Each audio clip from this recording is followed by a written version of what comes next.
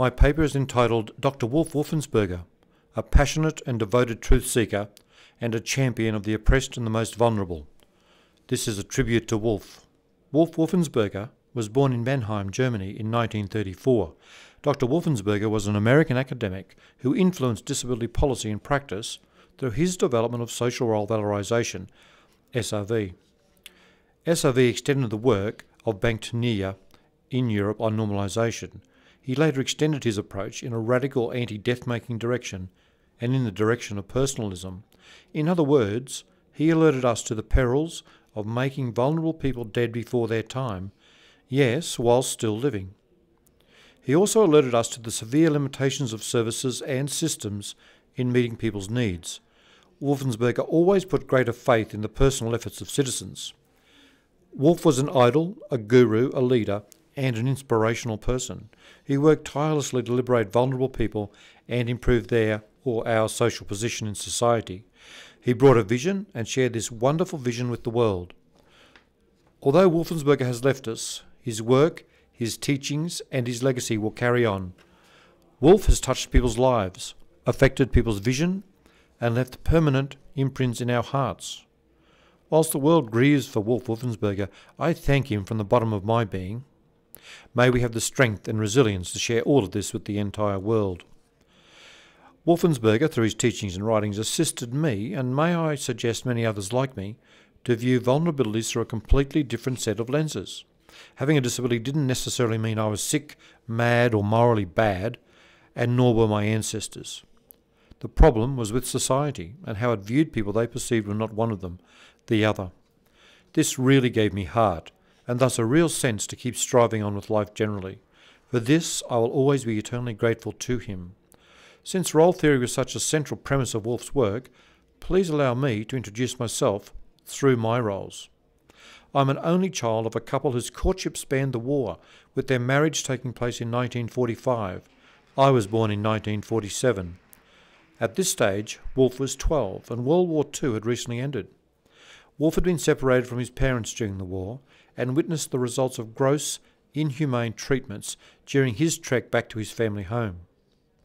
By the time I graduated from kindergarten, Wolf and his family had migrated to the US. Thankfully for me and many others, the experiences of his early years would later affect me in my later years.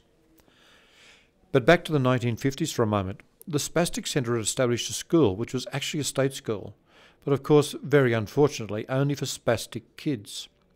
This was how it was in those days, and people thought it was great. I'm not quite sure, but I can quite vividly remember one day thinking, I wonder if this is very much different from a convent school. I really wanted to go to a convent school, but ultimately it didn't seem to concern me all that much that I didn't and couldn't. I enjoyed school, I enjoyed learning about things. I also think that I saw school as a social occasion. Teachers and therapists would fight for my ownership, my clienthood. I had the three therapies daily physio, occupational, and speech, as well as standing and standing frames. Teachers weren't too keen about all of these therapists wanting to interrupt their teaching programs.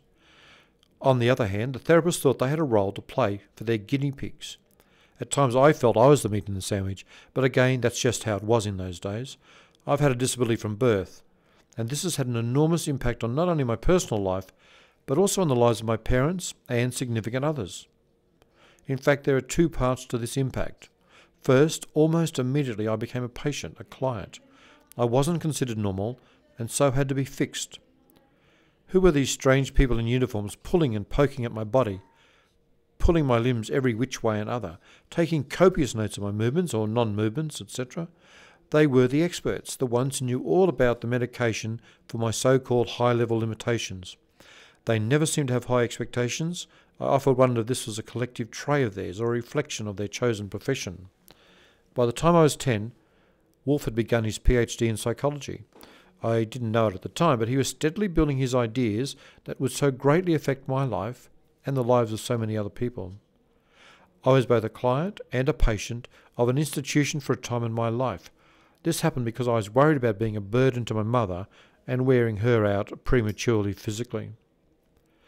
Living in an institution, as well as being in other congregational and segregational settings, I have experienced what I term as being done unto. This is when other people exert control over me. Even when it comes from a good intention, the impact is still the same. It takes away my own authority and my own sense of self. After living a segregated and congregated life for a time, I had to get myself out of these situations if I were to live the life that was authentically me. I now have a great little unit in the suburb of West End of Brisbane. I can walk to the shops, I can walk to church, and I can walk to an accessible railway station. I'm living in an area which tries to be more of a community than just a suburb. These were all part of the criteria I set with my group of friends before setting out to find my own place. These days, I hold the roles of a member of an inner city open and welcoming neighbourhood, a tenant in my own apartment, a jazz lover, a church member and Eucharistic minister, neighbour, member of numerous committees, jazz lover, local bookshop regular, a sports enthusiast, and an activist. I'd now like to comment on nine contributions by Wolf that have made a significant difference to my life and the lives of many others. Contribution 1 Wolf brought values and vision together. Wolf greatly assisted in the liberation of vulnerable people to improve their, or our, social position in society. He brought a vision and shared this wonderful vision with the world. What was this vision? The vision is that we are all human. Yes, there are malaises such as oppression, vulnerability, etc., which is simply one person and groups of people committing the process of being done unto to another person or groups of people. Contribution 2. Wolf identified that humans devalue other humans. This is important because it helped me to understand prejudice and oppression. When I heard Wolf talk, he was putting into words some of the things that I'd been feeling but hadn't heard anyone else articulate. Thus, until hearing Wolf and his teachings, I had dismissed these ideas in my own mind as odd occurrences that just happened to me, not necessarily as a systematic pattern towards people with a devalued status. I really feel indebted to Wolfensberger for enlightening my thinking and my outlook on life, especially how we interact with one another. I understand that it is part of the human condition to work out who we are by who we are not. I understand that this results in one upmanship over the other, and I also know what it's like to be one upped and the pain of this experience. I'm also aware that devaluation will always exist while our economies rely on having people with a devalued status around. Services are big business. At the heart of this, understanding that devaluation happens human to human means that we need to look at ourselves. It is not just them out there who enact devaluation, it is each of us. Yes, Wolf invites us all to be humble.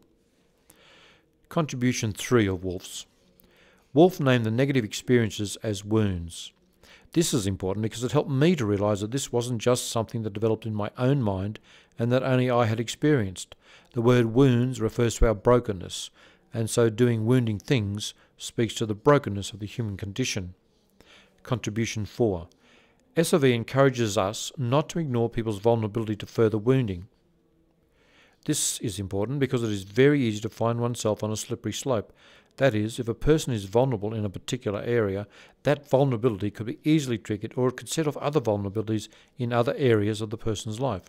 A blind faith in doing whatever the person chooses or doing whatever makes a person happy ignores the vulnerability of some devalued people to make decisions that might actually lead to harm in their lives. The vulnerability to poverty is largely ignored, as is the vulnerability to rejection, scapegoating, ill health, and even loss of life. Wolf's work in this area has alerted us to the limits of simply adopting the mantra of rights and choice, which is so popular today. So, this is an example of how Wolf deepened our thinking and encouraged us to not adopt simple solutions which are insufficient for complex problems. Contribution 5 Wolf identified valued roles as a key strategy in making a difference. If people haven't got a valued role, they are accorded or given a devalued role, and therefore they are forced to act out that role. Other people will presume that they should be in that devalued role. It becomes quite circular. Valued roles put a different slant on the perception of the person by others and also in their own eyes. Valued roles help to level out the playing field. We were born equal, so therefore no one is superior to anyone else.